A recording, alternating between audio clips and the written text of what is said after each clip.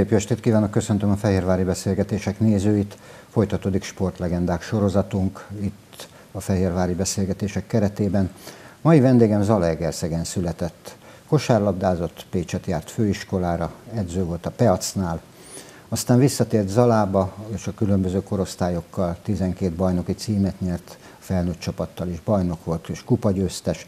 Aztán hála Istennek megérkezett Székesfehérvárra, három bajnoki cím, két kupagyőzelem, beírta magát a, az aranykönyvünkbe, és soha nem is fogjuk felejteni.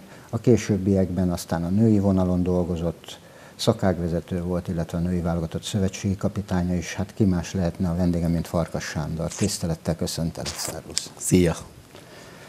Számtalan beszélgetés van már mögöttünk. Én azt gondolom, hogy azért egy kicsit idézzük fel azt a gyermekkort, ami elvezetett addig, hogy, hogy a mai magyar kosárlabda elismert és megkerülhetetlen személyisége légy. Azt hiszem, hogy a meghatározó élmény az első mindig nagyon fontos. Akinek a küldetés, a Balcó küldetés című könyve az egyik meghatározó az életében, az nyilván tudja, hogy, hogy miről is beszélek, hiszen fontos az indítatás. Veled hogy volt ez? Úgy volt, hogy ugyan egy zenei tagozatos általános iskolába jártam, és egyszer csak jött egy új testnevelő tanárnő, Révai Mária, aki kezemben nyomott egy könyvet, a 20 év a palánk alatt című könyvet, ami az 55-ben Európa bajnokságot nyert magyar felnőtt férfi válogatottról szólt, és innentől kezdve nem volt kérdéses, hogy én akarok Greminger János lenni. Aztán később, mikor lesérültem, akkor már csak Páder János, csak azt elnézést kérek, tehát hogy tudtam, hogy játékos már nem lehetek, akkor eldöntöttem már 15 éves koromban, hogy én mindenféleképpen szeretnék válogatott edző lenni, és valami nagy eredményt elérni. Ugye 1955-ös Európa bajnok nagyszerű kosárlabdázókról beszéltél. Én magam is rácsodálkoztam arra, amikor Bogár Pali bácsival beszéltem, még Isten nyugosztalja, hogy micsoda csodálatos élményeket adott az az EB, arról nem beszélve, hogy a Szovjetuniót győztük le. Ma már ennek az esélye sincs meg, és nem csak azért, mert szétesett az az ország. Tehát amikor pályát választottál, akkor fontos volt, hogy a sport az maradjon neked? A, a, igen, a sport az kisgyerekkorom óta az életem része volt. Fociztam, atlétizáltam, sőt, még kézilabda kapus is voltam. Tehát abban az időben igazából eléggé sokoldalú volt a nevelés ilyen szempontból.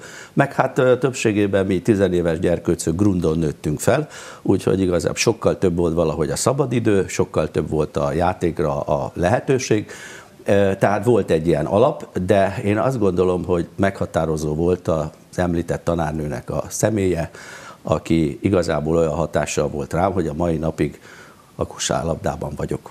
De a pedagógusként, amikor valaki sportágat választok, nyilván a Greminger éra az nagyon sokat dobott ezen, ugyanakkor amikor elkezdted, a mi volt a célod? Hiszen gyerekekkel kezdted értelemszerűen abban az Alaegerszegi általános iskolában, ahol tanítottál. Igen, hát úgy volt, hogy a, tanárnő veszélyeztetett terhes lett, és én akkor már a középiskola első osztályába jártam, és akkor ő és az iskola igazgató úr felkértek, hogy az már addig is az iskolában működő kosárlabda kis csapatot csapatokat vigyám a továbbiakban, és, és hát és valójában ezért szoktam én azt mondani, hogy 15 éves korom óta fizetett edző vagyok, mert a mai napig megvannak azok az írások, amik valójában 1971-től íródnak, ezt már csak azért sem felejt el az ember, mert nyilván egy erős középiskolában tanulni, meg mellette valójában a heti négy alkalommal komolyan edzősködni, mérkőzésekre menni egy tizenévestől azért egy komoly kihívás. Kihívás, de megerősítés is. Igen, hát nagyon egyszerű a dolog, mert nagyon szerettem én akkor is, meg most is. Igen, nyilvánvaló, hiszen a folyamatos fejlődés záloga egyik oldalról a gyakorlat, másik oldalról az a tisztelet, ami körülvesz az eredmények láttán, meg hogy te magad is komolyan veszed azt, amit elkezdtél.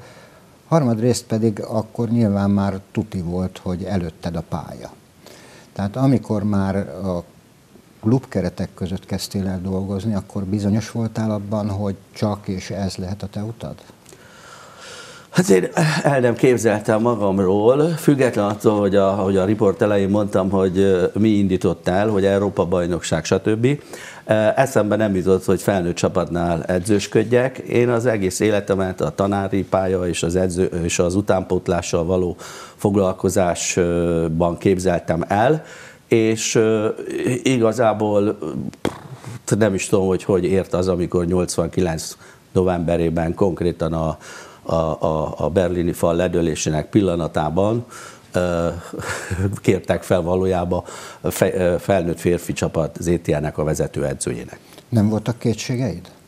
De rengeteg, rengeteg kétségem volt, és igazából ugye kieső helyen volt a, akkor 10-11 forduló után az ETE, előző, és, és, és hát én, mint ősi Zalaegerszegi, az akkor már egyszer bajnok volt az ETE, és valahogy állandóan az motoszkált a fejembe, hogy te Atya Úristen, én, mint helyi gyereknél fordul majd elő, hogy kiesik a csapata az NB1-ből, tehát borzasztó sok álmatlan éjszakán volt, játékosok, vezetők egyfolytában győzködtek, hogy higgyem el, hogy, hogy én ezt meg tudom csinálni, és, és igazából a, a, a végső löketet a két litván játékos adta, mikor már ők is azt mondták, hogy ők látják, hogy én hogy edzem a junior csapatot, e, ez stb. stb., akkor, akkor, akkor szóval egy akkora hitet, hogy, hogy, hogy belemertem vágni. Ne felejtjük, hogy a, ugye Litvánia kosárlabda nemzet a Szovjetunió szétesése után bizonyították végre, hogy igenis helyük van a világ élvonalában, ez így van azóta is. Hát meg, meg azt kell tudni úgy utólag, hogy az egyik játékosunk, a játékosom, a Lukózius, az későbbiekben sportminiszter lett, aki a labdajátékokért és a kosárlabdáért is felelt. Tehát nem akármilyen játékosról volt szó. No, tehát Zalaegerszeg akkoriban a kosárlabda élet Magyarországon Honvéd, Mafc, és hát azért még már jött felfelé a körment, viszont az Alegerszeg a semmiből lett veled bajnok, ha úgy tetszik, egy folyamatos, szisztematikus építkezés és erősítés okán. Az, azt hozzá kell, hogy tegyem, és ez nagyon fontos, hogy az ETE az 1979 végén, 1980-tól lett MB1-es. Én 80-tól kezdtem ott a Zalegerszegen a tanári pályámat, akkor végeztem el a főiskolát, és aki akkor a vezetőedző volt, Varga Ferenc, aki nyugodjon békében, mert már meghalt, óriási ö, szerepe volt abban, hogy 1980-tól a nulláról elindult az ETE, és 88-ban először Gellér Sanyival lett bajnok a csapat, és már abban 88-asban, vagy az én esetemben 90-ben a szűk 12-es keretbe 7-8 saját nevelésű fiatal játékos volt. Én igazából ezt tartom nagyon nagy dolognak, tehát ott 8 éven át ö, rendkívül kemény utánpótlás munka folyt, és nem csak a környéken, hanem a, a, a, a távolabbi térségekből is igyekeztünk a tehetségeket összegyűjteni, és ennek lett ez az eredménye, hogy kimondottan arra vagyunk, nem csak arra vagyunk büszkék, hogy mi zalaiak, hogy bajnokok lettünk, hanem hogy ennyi saját nevelésű játékosunk volt. Tehát szisztematikus orgonasíp effektus Igen. jött, tehát felnőtt ez a korosztály. És ehhez is kellett egy olyan ember, aki egy utánpótlás centrikus, aki vagy fiatalok között nőtt fel, aki nyilván felnőttekkel is foglalkozott, és ezért nagyon nagy hála Varga Ferencnek, hogy ezt az egészet elindította. Nagy Gáborékkal beszélgettem arról, hogy ők milyen szinten próbálták megfejleszteni a kosárlabdát itt Fehérváron, hiszen tudjuk, hogy a, elsősorban az Albakom fejlődése az Albakompal jött, tehát Minárovics Jánosékkal, illetve Stojan Nádasdi párossal előtte abban az időszakban, hiszen Székesfehérváron a videóton volt az egyeduralkodó, az albarégiai építők hol a másodosztályban, hol a hátsó régiókban tanyázott az első osztályban, és akkor jött egy váltás. Ehhez viszont kellettek olyan játékosok, és leginkább olyan szakvezető, ami a siker útját jelezte. Mi hozott Fehérvárra? Hogy volt az a megkeresés? Hát az úgy volt, hogy egyszer csak, akkor az Alavolán női csapatának edzője voltam, 95-től 97-ig, és igazából nagyszerű volt az a két év, és, és már megvolt a folytatásra a terv. Már igazából csak a szerződéseket kellett volna aláírni, és egy feltörekvő NB1-ből feljutott csapat, igazából a második évben már hetedikek voltunk, az akkor nagyon erős női mezőnyben, Hát valószínű, hogy fehérvári vezetőknek az ETL-ben és az Alavolánban is elért eredmények voltak azok, amelyek felhívták rám a figyelmet, és akkor így megkerestek, leültünk egyet tárgyalni, elmondták, hogy mit szeretnének, és végül megegyeztünk. Nehéz volt a váltás egy, egy zalai fiatal edzőnek, aki azért természetesen vágyik egy más közegre, új csapatra, de azért nyilvánvalóan az ország másik felébe eljönni, az azért nem mindennapi. Hát nem. Tehát, ahogy mondtam, ahogy az se fordult meg a fejembe fiatalabb korokban, hogy én felnőtt csapatedzője leszek, azt se tudtam elképzelni magamról, hogy én elhagyjam Zalaegerszeget. Az, hogy az etéből a Zalavolánba mentem, az, az, az ugye az egy, az egy lépés volt, de de abban nem volt az benne, hogy én most ilyen országjáró edzővé válok, vagy nem válok. De egy valamit kell tudni, hogy amikor az Albakon megtette az ajánlatát, akkor a, a tehát abban az időben az Alba Kompnak nagyon jól csengett a neve, tehát az egy nagyon nagy megtiszteltetés volt, hogy egyáltalán egy edző vagy egy játékos szóba kerül az Alba Komp noteszébe. Úgyhogy, úgyhogy nyilván ez egy lottó ötös környéki meglepetés, családnak mindenkinek, óriási családi tanácsok, és hát mindenki arra beszélt rá, hogy nyilván ezt fel kell vállalni, ezt meg kell mutatni magadat, mert egyébként is voltak olyan vélemények, mert ugye mindenhol kitermeli az ember a maga irigyeseit, hogy csak Zalába tud az ember aranyérmet nyerni, mert ott aztán Zalába csak aztán ott a lehetséges ez, meg majd ha kimegy, elmegyek egy másik városba, meg akármiben vagy, akkor kiderül, hogy mit tudok. Azért volt egy ilyen kis nyíl is bennem, hogy, hogy, hogy na akkor itt a lehetőség, Sanyi, akkor most mutasd meg. És így is történt az, az, a szisztematikus építkezés híve vagy nyilvánvaló.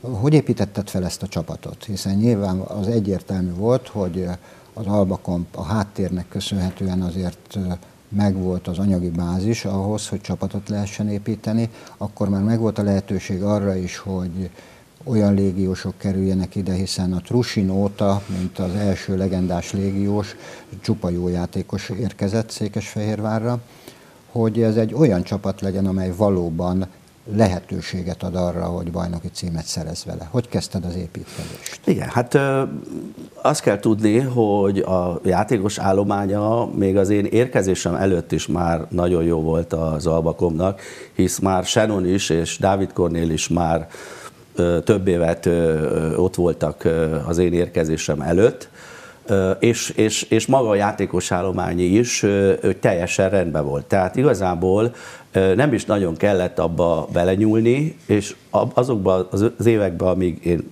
az Albánál edzősködtem, igazából ez nagyszerűen működött a vezetők és köztem, és a menedzseri irodák között, mert ilyen szempontból nagyon, nagyon egyformán láttuk a dolgokat. Tehát, tehát ezzel az égvilágon semmi probléma nem volt elkerülhetetlen volt a, a diadalmenet. Mondom ezt azért, mert a Somos Zoli ezt nekem megjósolta előtte, az első bajnokság előtt, hogy most bajnok lesz. A Somos Zoli, Somos Ákos, Horoglacival végigkísértük ezt a diadalmenetet, mind a hármat egyéb iránt. Ma is kettelve nézegetjük azokat a felvételeket.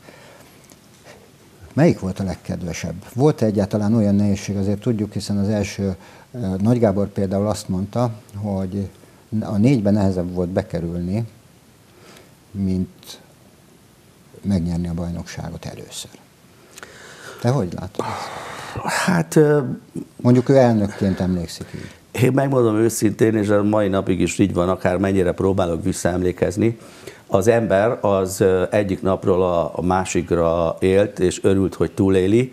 Már sokadik éven volt az, hogy szerencsére Zalegerszegen is, meg Székesfehérvár, sőt még Sopronban is szinte végig teltház volt minden egyes mérkőzésen, és mindig, mindig óriási nyerési kényszer volt a csapaton és rajtam, és igazából minden másodpercemet az edzésekre, mérkőzésekre való felkészülés jelentette, és abszolút nem volt időm meditálni dolgokon, hanem, hanem, hanem mindig a következő lépés. Na most ma milyen kedvel jön a Shannon az edzésre? Mennyit kell vele előtte ökörködni, hogy a többiek kedvét elnevegye az edzéstől, stb. stb. stb. Tehát minden egyes másodpercem a csapat körül, a kollégáim körül forgott, és itt meg is szeretném említeni, hogy igazából, igazából az a stáb, az a társaság, akivel együtt dolgoztam, az, az mai napig is mindannyian barátaim, sajnos már ö, atyec nem lehet közöttünk, de Bélával, Feri bácsival, Ignáccal mai napig is tartom a kapcsolatot kollégáimmal, akik segítettek, úgyhogy mondom, nem volt idő meditálgatni, állandóan napra késznek kellett lenni. Mihez kezd egy edző, hiszen nyilván nem ágyazódhat be a három bajnoki cím után a saját sikerébe?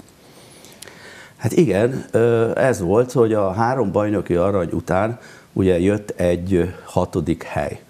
Én magam kértem a vezetőktől, mert akkor az már a negyedik éven volt, és bár a hatodik helynél is soha nem fogom elfelejteni, hogy amikor én elköszöntem Fehérvárról és Sopronba kerültem, hogy igazából a közönség is úgy búcsúztatott, hogy mintha abban az évben is bajnokok lettünk volna.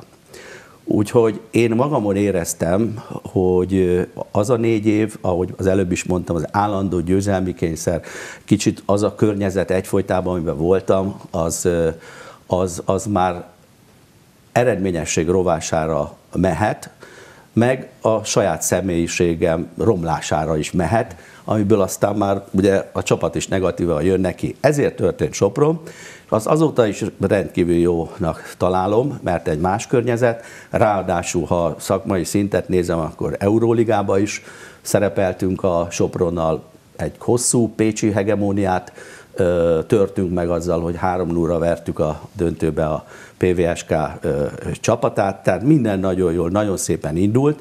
Ott valami közbe jött, hogy másfél év után kérnem kellett a felmentésemet, de azt ott hosszú évekig csináltam volna szívesen, ugyanúgy, mint az albakompot, mert nagyon azt láttam, hogy óriási előrelépési lehetőség van, és elsősorban a nemzetközi szinten. Mert azt ne tagadjuk, hölgyek esetében könnyebb nemzetközi eredményt Nyilván. elérni, mint a férfiaknál. Viszont a váltás nem lehetett könnyű, hiszen aki világ életében a férfiakkal dolgozott, azért nagyon is jól tudjuk, hogy a, a szakágváltás, hogy nőkkel foglalkozni, azért az, az másfajta felkészültséget igényel, vagy, vagy tehát másfajta mentalitást egy edzőtől.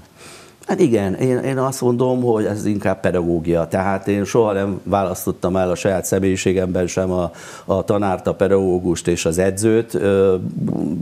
Biztos szerencsés égi alatt születtem, mert az óvodától kezdve egészen az egyetemi professzorig nagyszerű tanárok, pedagógusok vettek körbe, vagy a kosárlabdapályán rendkívül sok példaképen van az edzők között, játékosok között, akikből mind meríthettem azt az energiát, ami talán az egész pályafutásom alatt két-három játékossal, ha volt valamilyen problémám, de az se eget kiáltó, hogy már utálnánk egymást.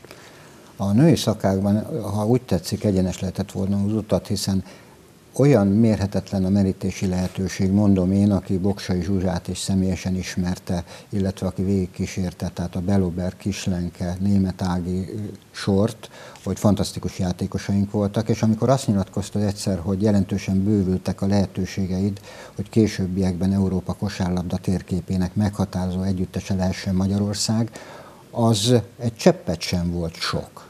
Sőt, nagyon is azt mondjuk, hogy realitásérzékről tanúskodik. Hát igen, hogyha meg még azt a részét nézem, hogy, hogy ugye 2015, tehát 2012-ben, amikor felkértek arra, hogy női szakmai igazgató legyek a, a, a Magyar Kosárlabda Szövetségben, majd majd szövetségi kapitány, a 2015-ös hazai rendezésű EB-re vigyem a csapatot, akkor jutott újból eszembe a Páder könyv, mert ugye 55, meg 2015, ha az jó számolom, az kerek 60 év. E, jó számolom? Igen. De hát, hogy az a lényeg, hogy egyszer úgy beugrott, hogy Jézusom, gyerekként azt álmodtam, hogy nekem majd ugyanolyan szerepem lesz, mint a Páder Jánosnak, és végig ez uh, abba a két évben, amíg, amíg erre készültünk, végig ez volt bennem, ez a láng, hogy majd most akkor eljön. És igazából az volt a pályafutásom végén, az íre ezzel a, az EB-vel teszem fel a pontot. És nem így történt. Nem így történt.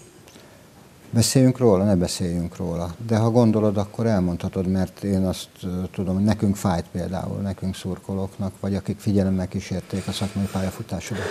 Hát ez annyiban jelentős, hogy mondjuk 2014. november 20, december 24-én kaptam meg, illetve nem is én vettem át az ajánlott levelet, hanem tehát karácsony napján feleségem vette át, hogy a hátralévő fél évben, ami a női Európa-bajnokságig tart, tehát 2015. júniusáig, hogy hogy a szövetség felbontja a szerződést, mert megtehette, mert olyan volt a szerződés, hogy én is bármikor felbonthattam abba a december időben, ő is felbonthatta, csak hát ez egy kicsit a mai napig érthetetlen, hogy miért. Ez már megmarad, igazából életem legnagyobb kosárlabdás csalódásának, vagy kudarcának, vagy nem tudom, hogy fogalmazza. Igazából azt szoktam mondani, hogy szüleim halála után ez viselt meg a legjobban. Megértem. Minket is egyéb iránt. De hát nem maradtál munkanélkül, mert rövidesen jött a lehetőség, a felkérés. Hát ez elsősorban a, a Jimmynek is köszönhető, tehát Balázs Imre, akit akkoriban választottak meg elnöknek, és ő szerelmes az utánpótlásba, azért mondhatjuk így, hiszen egy olyan szakmai koncepcióval jelentkezett, amelynek a végrehajtása egy óriási kihívás, még egy olyan sokat tapasztalt nagy formátum edzőnek is, mint te vagy. Igen. Hogy kezdtetek munkához? Első, első pillanattól kezdve elnök úr nagyon szimpatikus volt, fölvázolta a jövőt, mit szeretne, hogy szeretné csinálni. Én egész életemet valójában a kosárlabdában, az utánpótlásba éltem le. Igazából érzem, a, úgy érzem, hogy tudom a kapcsolatot az utánpótlás és a felnőtt között. Amit csak lehetett csinálni magyar kosárlabdában, én azt gondolom, hogy minden szegmensében részt vettem tehát igazából azt csinálhattam most, azt csinálhattam 2015-től, amihez talán nagyképű, de talán értek is valamennyire. Úgyhogy, úgyhogy igazából indult egy három éves tervel, aminek annyi volt csak a lényege, hogy hogy három év alatt, tehát a 2015-től indulunk, akkor a felnőtt csapat szűk 12-es keretébe legalább kettő-három saját nevelésű játékos kerüljön. Ez már két év után megvalósult, mm. ezt most már mindenki láthatja, ugye a Lukács Norbi, Takács Ikreket, még a Szodikot lehet látni, de jönnek sorba a többiek is, Balsai Ádám, és most nem akarom felsorolni az egészet, úgyhogy igazán jól állunk ilyen szempontból, és azt a tervet, amit kitűztünk rövid távon, azt megvalósítottuk. Most egy hosszabb távban egy életpályaprogram, amely egészen a úgynevezett Palánta programtól, óvodától, az egyetemig, a munkáig, a profi sportig tart, úgyhogy ezt már valószínű ennek a végét én ö, már csak élvezni fogom, és már valószínű nem dolgozok benne, de majd fog, szívesen emlékezem rá, hogy ezekbe az építkezésekbe én is részt vehettem. De ez így kerek történet, hiszen vissza az eredendőhöz mondhatod. Igen, pontosan, pontosan. Jó. Nos, hát én ehhez kívánok jó egészséget, Köszönöm és örülök, hogy megtiszteltél, annál is inkább, hiszen nagyon fontos számunkra a Gáz utca, és ha majd lesz egyszer egy új csarnok, akkor nem 2000-2200 néző, hanem 3-4 ezer néző is ott lesz. És ott leszünk mi is. Köszönöm Biztos szépen. Én is köszönöm. Kedves nézőink, köszönöm megtisztelő figyelmüket. A mai vendég Varkas Sándor volt, a kosárlabda legenda. Köszönöm figyelmüket, minden jót, viszontlátásra!